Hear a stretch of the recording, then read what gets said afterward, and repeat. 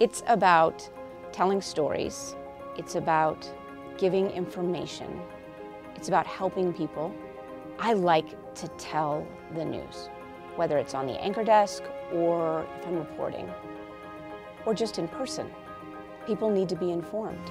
I couldn't imagine not doing this job because I have a great connection with the community and we have a good community. Q2, proud to be Montana's news leader.